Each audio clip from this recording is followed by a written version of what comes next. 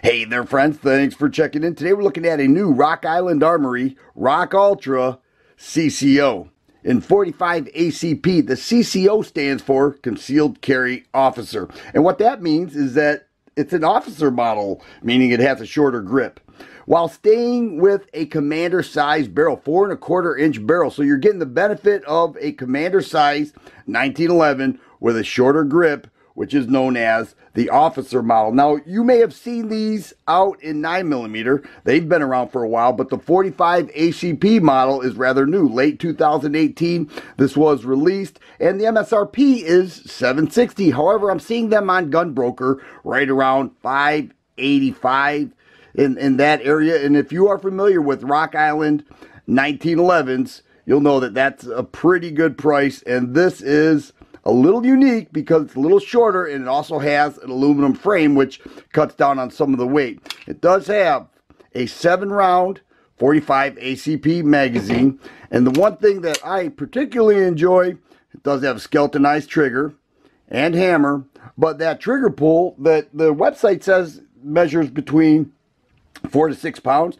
I am consistently measuring that at four and a half pounds and right there, that short reset, very light four and a half pound trigger, just keeps you on target. And in my opinion, is the greatest benefit of owning in 1911 and shooting in 1911. Many people will say, you know, you're going to get your most accurate shooting with a 1911 because of that right there, that single action trigger and the, the overall operation of a 1911 is outstanding. Extended beaver tail, all right, of course, the grip safety there. Already talked about the skeletonized hammer. It does have LPA adjustable rear sights. All right, you can see the adjustments there and there. Pretty nice deep cut serrations and a fiber optic front sight. Already mentioned four and a quarter inch barrel parkerized finish there. Very common with Rock Island 1911s and there is the logo. And very sharp looking G10 grips. The front strap's a little unique. It has indentations in there, opposed to the, the heavy stippling that the back strap has. And of course we have a, a flat mainspring housing right there. Nice looking gun. Full length guide rod and a bull barrel that's bushingless. So the disassemble's a little different, no big deal. Very common with commander size 1911s. But for those who enjoy carrying a 1911, this would make an ideal choice because it's an officer size grip with aluminum frame. And it's a Rock Island, which I find, uh, let's go right to pounds and ounces. I like to start out there. Here is the unloaded weight. We're looking at one pound 15 and a quarter ounces. We move that to just ounces, 31 and a quarter. All right, but I'm going to load it up with, let's see, how about eight rounds? We'll do eight rounds, of course. I usually, when I when I do these, I, I typically load up just the magazine and not one in the chamber. And some people say, hey, you know what?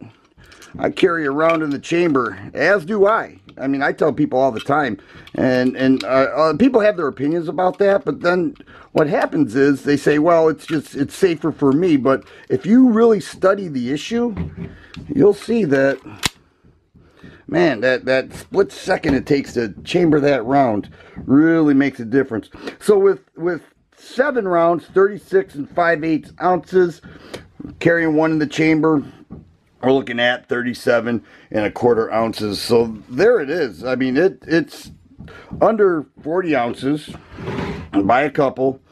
Does have seven rounds. big old 45 ACP. You gotta love it. And that's that is the original 1911. You know, you've seen a lot of 1911s in 9 millimeter and some in 40 Smith and Wesson, and I, I think it's fine even in 22. Those have been around forever. 45 is the original.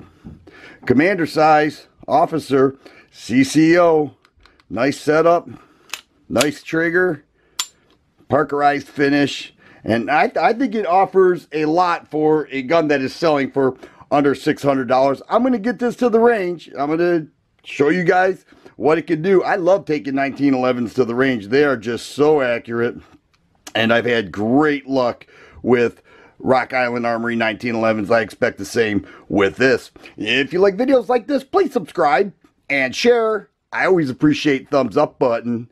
Thanks for watching, and you guys be safe.